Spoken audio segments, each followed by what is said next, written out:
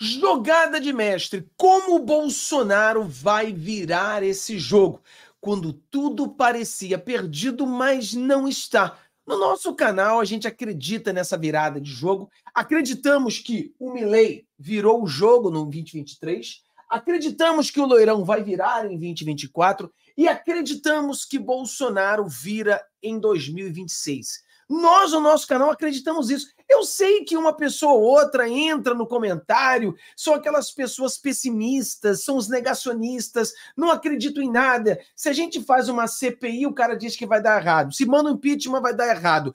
Tudo que você fala para ele dá errado. Então não adianta. O que nós temos que entender é deixa essas pessoas acreditarem na negatividade, deixa essas pessoas não acreditarem e eu e você, nós iremos acreditar. O Bolsonaro, no dia de ontem, ele mostrou o caminho da virada, ele mostrou pra gente como que essa virada vai acontecer. E você começa a ver agora. Eu sei que tem muita gente tentando te contaminar, né? É aquele vírus da desistência, aquele vírus do, do, do, desanimo, do, do, desânimo, né? Aquele vírus que você não pode se contaminar com isso. Não pode se contaminar com isso, porque nós acreditamos.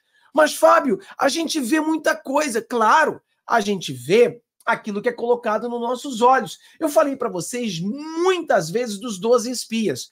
10 voltaram dizendo que não ia dar nada, que não era uma terra boa, que só tinham gigantes. E dois voltaram dizendo que era terra que mama leite e mel. Então, essa é a diferença. Quem é você? Você está vendo o quê? Você está vendo tudo dando errado? Ou você está vendo que as coisas elas estão mudando, elas estão encaminhando para uma virada de jogo? O que que você está vendo? Porque eu vejo a virada. Ah, Fabio, os problemas. Cara, a gente sabe que ia ter problema. Você acha que o Lula, como presidente, a nossa vida ia ser uma, uma, uma vida sem problemas? Pô, pelo amor de Deus. Você acha que o Lula, presidente da República, indicando dois ministros, com um montão de deputados, com um montão de coisa acontecendo, com essa Suprema Corte, você acha que tudo ia ser uma maravilha? Claro que não. Então a gente sabe dos problemas, os problemas já eram esperados, as expectativas estavam todas ali para os problemas. E o que, que a gente está vendo também? O que nós estamos vendo é a virada de jogo acontecendo nos bastidores, e por você prestar atenção numa coisa só, você não vê o que está acontecendo. Então a gente vai falar sobre isso hoje, sobre a virada de jogo, sobre a jogada de mestre, sobre o Bolsonaro mostrando pra gente o que nós acreditamos no nosso canal. Milley, Loirão e Bolsonaro. 23, 24 e 26. É o que a gente acredita. Vai no comentário, diz para mim se você acredita. Bota ali, eu acredito. Se você não acredita, vai lá e bota que você não acredita. Nós precisamos ser aquele vírus do bem o vírus que vai contaminar todas as pessoas da nossa família, da nossa casa, dos nossos amigos, com essa positividade, com essa certeza de uma grande vitória para o nosso Brasil. Galera, meu nome é Fábio, aqui do canal Vida Gringa. Se você não está inscrito ainda, inscreva no, seu, no nosso canal. Você sabe que eu moro aqui nos Estados Unidos há mais de 30 anos e trabalhamos, estamos lutando para virar esse mundo, né? Porque o presidente Donald Trump ganhando aqui e nós, você vai seguir a campanha, você vai seguir a eleição americana, vai entender de tudo da eleição americana no nosso canal, vai ser mais um passo da grande virada lá no nosso Brasil. Então inscreva-se no canal, compartilhe com seus amigos, vamos lá, porque o bicho vai pegar. Deixa eu mostrar para você quando eu falo da virada. Vamos lá, vamos entender. Quando o Lula ganhou as eleições, ganhou as eleições, o que, que nós vimos? Nós, eu e você, percebemos o que todos nós vimos, que a mídia estava com ele, o sistema todo estava com ele. Né? Tudo aconteceu para ele. Até mesmo os Estados Unidos estavam com ele. Ou seja, todos contra o Bolsonaro para é, queriam tirar o Bolsonaro porque o Bolsonaro era antissistema. Então tinha que tinha que tirar o Bolsonaro. Então isso aconteceu. Nós vimos que a Europa, nós vimos todos contra o Bolsonaro. E aí o Lula vai para o poder. Uma vez que o Lula vai pelo poder, você viu uma mudança no Lula. O Lula, que eu e você conhecemos, que é um comunista, um comunista confesso, como o Flávio Dino, outro comunista, o que, que acontece? Ele estava dando uma de agente duplo. Ele andava com um pé com o Ocidente, com os globalistas, e com um pé no comunismo, com a China, com a Rússia. O primeiro presidente a dar parabéns ao Lula foi o Vladimir Putin, que muitas pessoas estavam sendo enganadas acreditando que o Vladimir Putin era alguma coisa de bom, né? Mas tudo bem. Então o Lula, ele começou a tirar a camisa e mostrar quem ele é de verdade. Ele começou a atacar o Biden, começou a atacar a Europa, começou a atacar o Ocidente, começou a atacar a, a Ucrânia, começou a atacar Israel, começou a atacar tudo que era de bom. É muito fácil. O Lula é muito previsível. Você vê o lado que é bom, então você sabe que ele vai ficar contra. É assim, é, é muito previsível. É, é, Ucrânia e Rússia, é claro que ele vai ficar com a Rússia. Israel, Hamas, é lógico que ele vai ficar com o Hamas. Então ele sempre fica do lado errado. A Venezuela, Tá tudo. Pode haver um conflito entre Venezuela e Guiana. É lógico que ele vai ficar do lado da Venezuela. Ou seja, sempre ele está do lado errado. Sempre. Então, ele mostrou para o, o, o Ocidente que ele é um comunista, se tornando então um inimigo do Ocidente. A Europa diz que Lula vira as costas para os seus inimigos. Lula engana. E aqui nos Estados Unidos, nós tivemos aquela grande matéria que nós demos para você, aonde que o próprio Estados Unidos confessa que ajudou a eleição do Lula, mas que não ajuda mais. Já está fora. Ou seja, o Lula não tem mais o apoio nem da esquerda americana.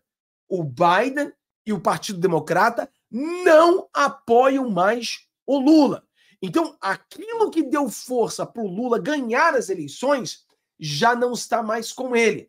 E aí você sobra o Brasil. O que aconteceu no Brasil? Ah, no Brasil você tinha, né? Todo o sistema globalista no Brasil apoiando Lula. Você teve a Globo, que parecia um, um Twitter do, do Lula. A Globo parecia um grupo de WhatsApp do Lula. Só fazia campanha pro Lula, só falava bem do Lula. Não continuava, não conseguia criticar o Lula. E tudo, tudo era Lula, Lula e atacava o Bolsonaro. Sempre quando eu e você tentávamos mostrar que a Suprema Corte está errando, que Lula está errando, que isso está acontecendo, o que acontecia? Nós éramos atacados pela mídia.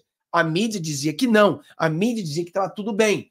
Mas aí chegou a vez da mídia. E olha o que o Bolsonaro falou aqui.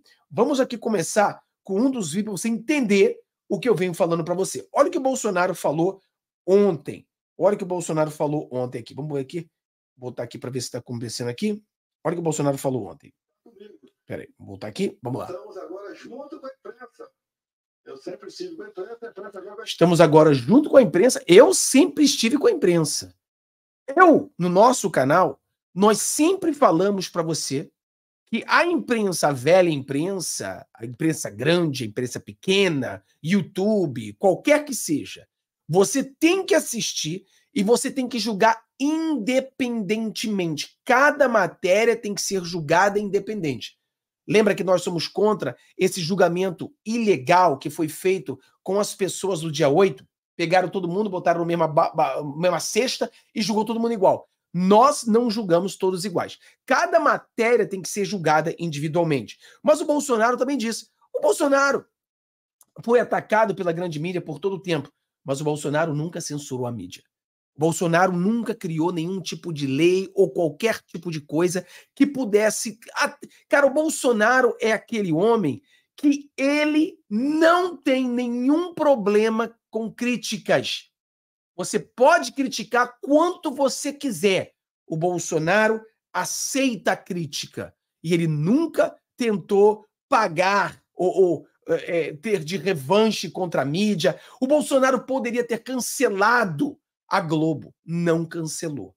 Depois de tanto ataque, mesmo assim, o Bolsonaro. Ali, ó. Aqui, ó. Beleza, continua a Globo. Continua. O Bolsonaro não tirou dinheiro da Globo. O Bolsonaro, ele entregou o dinheiro que era dividido para todas as outras emissoras. Mas a Globo continuou ganhando mais do que todas as outras. Só que as outras emissoras ganhavam também. Aí o Lula mudou tudo e manda quase todo o dinheiro para a Globo, porque a Globo está trabalhando para ele, basicamente isso. Mas algumas coisas estão acontecendo. Olha o que o Bolsonaro falou aqui, olha a jogada de mestre. Ontem, uma decisão lá de outro poder, que não é o legislativo, decidiu que se qualquer pessoa der uma entrevista e o jornal publicá-la, se tiver fake news ali, a imprensa vai ser processada. E quem vai dizer o que é, se é, que é fake news ou não é fake, fake news? Ninguém sabe. Ou alguém indicado por alguém que está no poder, que sempre pregou o controle social da mídia, sempre pregou a censura. Isso não dá certo. Quem sempre pregou a censura? Quem sempre? O cachaceiro. Uma das últimas palavras que eu falei quando estava lá ainda em Brasília, no Porto da Alvorada, foi vocês vão sentir saudade de mim. Isso, vão sentir saudade da gente.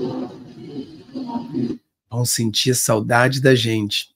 Presidente, que saudade, presidente. Vai no comentário, diz para mim se você está sentindo saudade do presidente Bolsonaro. Vai no comentário, bota um coraçãozinho ou bota ali saudades. Bota ali, vai lá, vai no comentário. Bota aí. Quem é que está sentindo saudade do presidente? Não é que eu sou não porque o outro é muito ruim. Não é porque eu sou bom, não. É porque o outro é ruim demais. O outro é muito ruim, rapaz. Não é porque eu sou bom. É que o outro é ruim demais. É muito ruim o outro. Não é que eu sou bom, é que o outro é ruim demais. Então o Bolsonaro aqui ele falou o seguinte: olha só, vocês vão sentir falta de mim. Claro que eu e você vamos sentir falta do Bolsonaro. Claro que todos nós que estávamos vendo o Brasil melhorar, nós iremos sentir falta do Bolsonaro. Mas o Bolsonaro não estava falando para a gente que ele sabe que nós sentiríamos falta dele. O Bolsonaro estava falando para os seus inimigos. O Bolsonaro estava falando para a grande mídia. A grande mídia caiu naquele erro que nós aprendemos lá na Alemanha. Quando aquele pastor disse: Ah, vieram por A, eu não fiz nada porque eu não sou A. Vieram por B, eu não fiz nada porque eu não era B. Vieram por C, eu não fiz nada, eu não sou C. Depois vieram por mim, e eu não pude fazer nada porque eu estava sozinho. A mídia caiu na armadilha. A mídia, a grande mídia, a velha mídia, ela pensou que eles iriam censurar somente os bolsonaristas. E nós falamos durante quatro anos: desperta, mídia, porque vocês serão o próximo. Quando essas pessoas têm o poder na mão, eles vão para cima de todos. Eles não vão perdoar vocês, eles não vão deixar vocês de lado, eles vão para cima de todos. E agora chegou o dia da grande mídia você fala assim, Fábio, um absurdo. Fábio, isso é um absurdo. Pessoal, eu falei várias vezes para você que às vezes tem que piorar para melhorar.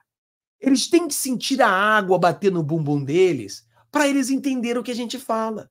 Quando o Paulo Figueiredo foi censurado, a grande mídia se calou. Quando Constantino foi censurado, a grande mídia se calou. Quando o, o, o, o Alan dos Santos foi censurado, a grande mídia se calou. Eu poderia botar mais e mais e mais exemplos aqui e a mídia calada. Hoje, eles serão censurados. Aí a mídia toda se levanta. Eu estava vendo aqui, por exemplo, olha só, vou dar uma, uma, uma mostração rapidinha para você. Olha isso aqui. Hum. Artigo da Folha. Nem a ditadura foi tão ambiciosa quanto o STF. Em artigo publicado nesta quinta-feira, dia 30, o colunista Luiz Francisco Carvalho Filho critica o avanço do Supremo contra a imprensa. Olha isso! Despertaram? A, a, a imprensa agora está sentindo a água batendo no bumbum? Aí você vê o Barroso falando isso aqui. Olha o Barroso.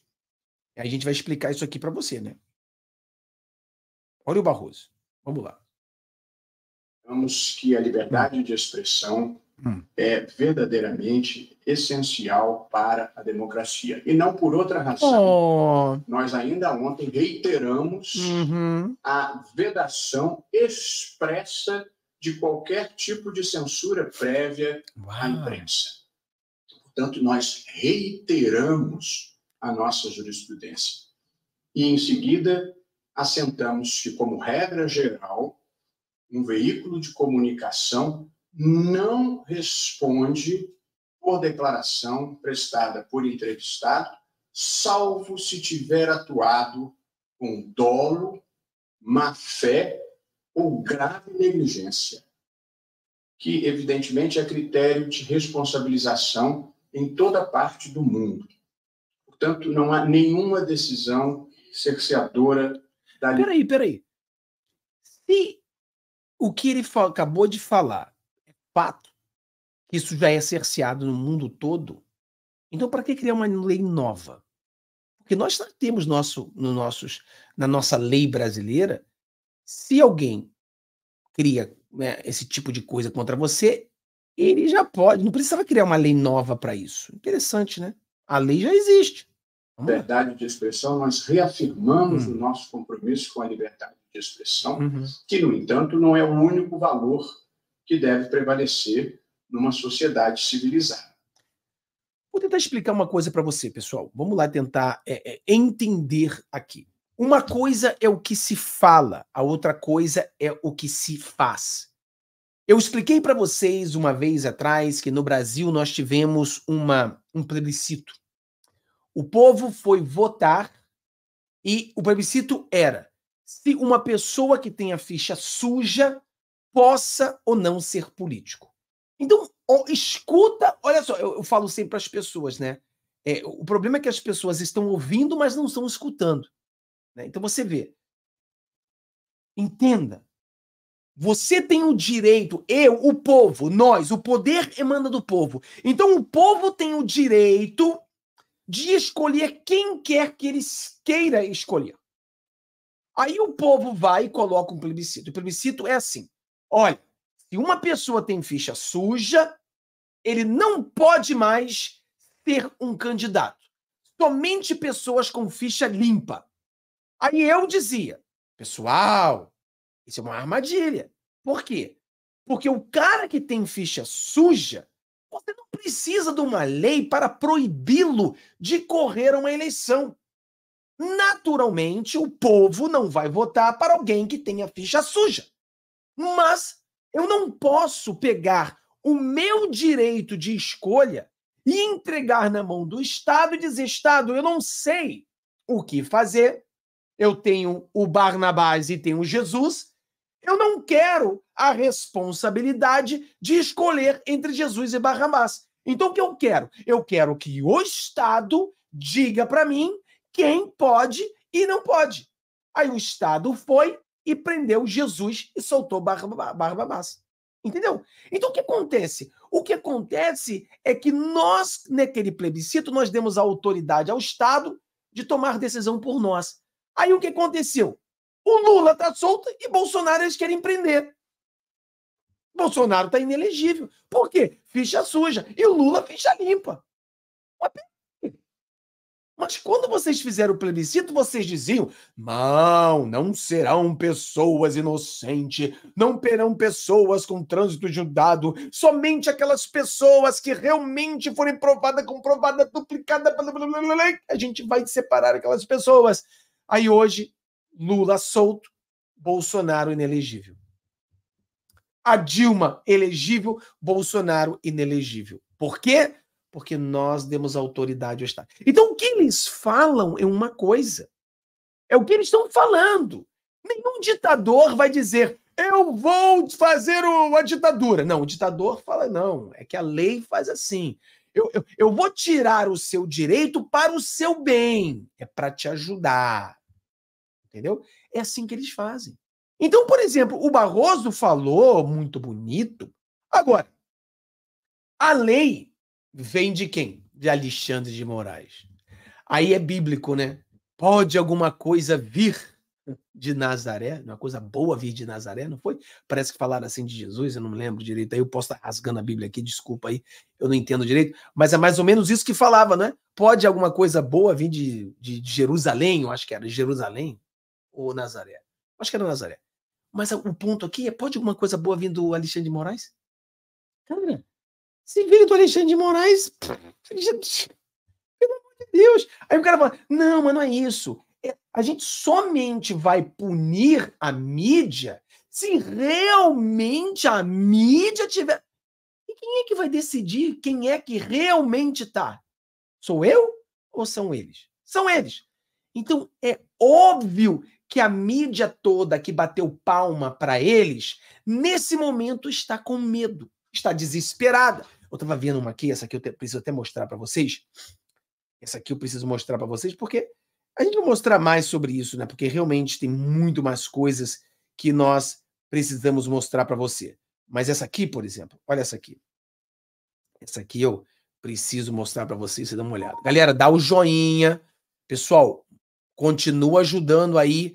Estou ainda trabalhando com a luz, pessoal. É um teste ainda. Eu, eu como eu trabalho, eu não tive tempo ainda para a gente conseguir uh, fazer o trabalho direito ainda, botar as luzes, tudo direitinho, tá?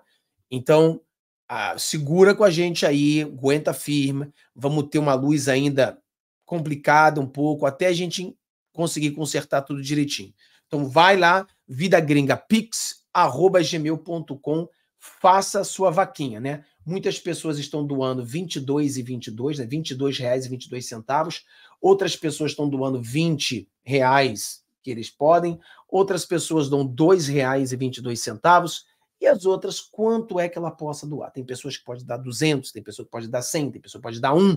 Quem você puder ajudar, ajuda na vaquinha para a gente conseguir aí. Olha só isso aqui, pessoal. Olha isso aqui.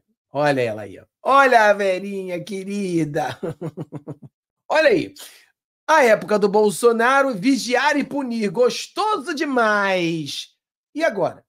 No mínimo, no mínimo, essa decisão deixa toda a imprensa em situação de insegurança jurídica para realizar entrevistas ao vivo. Como adivinhar o que o entrevistado vai dizer num programa como Roda Viva? Ah, Verinha, tadinha. Tadinha! Ela tá sentindo água batendo no bumbum, tadinha. Tá entendendo? Então você vê toda a mídia em desespero. Toda a mídia em desespero. A mesma mídia, olha só, por exemplo, olha só isso aqui. Vamos lá. Tem mais aí. Vamos lá, olha só. Olha só o que, que a mídia tá desesperada. Vamos lá, mídia.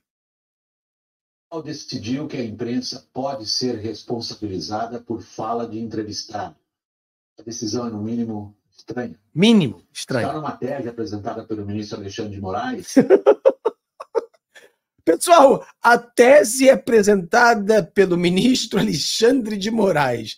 Bam, bam, bam, bam. Ela é boa ou ruim? Ah, não, não, não. Já, já não preciso nem me responder, né? E pretende estabelecer critérios hum. que levem à responsabilização de veículos de imprensa por declarações de entrevistados que imputarem falsamente crimes a terceiros. A tese encampada pelo Supremo causou arrepios de horror. Em ju... Arrepios de horror? Desculpa, cara, mas não, não, não tem como não rir, porque esses são aqueles que riam da gente. Quando nós falávamos que estávamos sendo censurados, que o, a Suprema Corte está fazendo uma ditadura no Brasil, eles nos ridicularizavam, dizendo que não. Ela mesmo falava né, as coisinhas dela, né? Punição, é isso, uhul! Agora vocês estão apavorados? Hum, fala de novo aí. Imputarem falsamente crimes a terceiros. Hum. A tese encampada pelo Supremo causou arrepios de horror em juristas de várias tendências políticas e acadêmicas. Uhum. O STF diz que a punição de empresas de jornalismo só acontecerá em casos de indícios concretos de falsidade que um juiz de primeira instância vai tratar. O que, poderá, o que poderá levar a uma enxurrada de censura judicial, dizem vozes críticas à tese do Supremo. A decisão ocorreu no julgamento de um antigo processo envolvendo uma publicação em Pernambuco, cujos advogados de defesa já anunciaram que vão entrar no Supremo com um instrumento pedindo esclarecimento da tese aprovada hoje. A tese trabalha com a ideia de que o veículo de imprensa pode ser responsabilizado civilmente se, na época da publicação de uma entrevista, por exemplo, havia indícios concretos de falsidade da fala do entrevistado e o veículo deixou de observar o dever de cuidar da verificação da veracidade dos fatos. Na prática, dizem juristas, o Supremo está legislando, pois estabelece regramento para o futuro. Na prática, cria um obstáculo para a publicação de denúncias que terão ainda de ser investigadas. Afirma ao presidente do Supremo que a liberdade de imprensa está garantida. A prática é que dirá. Na prática, estamos diante da flexibilização da liberdade de imprensa. Isso é muito sério. É muito sério. E eles estão tremendo de medo.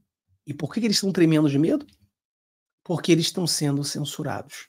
Vai ser uma censura. Entendeu? E, Fábio, mas aonde está a virada, Fábio? Pessoal, você não está vendo aonde está a virada?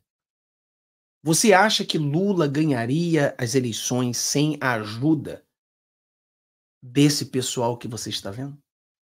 Da grande mídia, do sistema, dos Estados Unidos, de tudo isso? Então, nós estamos nos preparando muito forte para chegar em 2024 e ter uma vitória esmagadora com relação aos vereadores e prefeitos. Nós queremos chegar em 2026 e ter uma maioria na Câmara, uma maioria no Senado e termos um presidente de direita. Eles o Lula e companhia não terão mais o apoio da grande mídia. Não terão mais o apoio. Existe hoje uma ruptura. Está tudo quebrado. É, existe uma ruptura hoje. E é questão de tempo para que todo mundo acorde. E agora, como eu falei para você aqui, que às vezes as coisas têm que piorar para melhorar, está piorando muito para o lado deles. E agora que eles estão sentindo a água batendo no bumbum, eles começam a despertar, eles começam a se levantar, eles começam a questionar, começam a brigar, começam a discutir. Mas é isso aí. Isso aí vai levar à grande vitória da direita. A virada está sendo feita na calada da noite. O presidente Bolsonaro trabalhando, agora mesmo ele teve Natal, quando falou isso, trabalhando em todos os lados para que a virada aconteça. O que eu e você precisamos fazer é acreditar e trabalhar. Eu estou trabalhando todos os dias, estou tentando fazer o máximo de vídeos possível, melhorando, melhorando a qualidade do estúdio, aumentando o estúdio, fazendo mais coisas e mais coisas, mais coisas, para que a gente vença. O seu trabalho é ser como esse vírus de positividade, esse vírus de coisas é, positivas, esse vírus de, de, de, de acreditar e espalhar esse vírus no Brasil inteiro, mostrando para as pessoas que nós iremos vencer essa batalha. Nós iremos vencer. A virada vai acontecer. E quando tudo parece perdido, não está. Nós iremos. Tudo o que aconteceu de ruim, ou está acontecendo de ruim, você já sabia, era previsto. Então não adianta ficar chorando pelo leite derramado. O que nós temos que fazer é observar, conseguir ver a terra prometida. Então, é uma jogada sensacional que o Bolsonaro está fazendo e eu tenho certeza que nos bastidores o Bolsonaro vai levar eu e você a essa grande vitória, tá bom? Então Deus abençoe todos vocês, vocês têm um dia maravilhoso. Vou ver se a gente fala mais sobre esse assunto, porque tem muita coisa ainda que não deu para falar aqui. Nós já temos mais de 30 minutos já de, de, de, vídeo, então a gente vai falar mais sobre isso, tá bom? Mas vai, compartilhe isso aqui com seus amigos, vamos alcançar o maior número de pessoas possível, porque nós iremos virar esse jogo. Tchau, tchau, galera. Te vejo na próxima.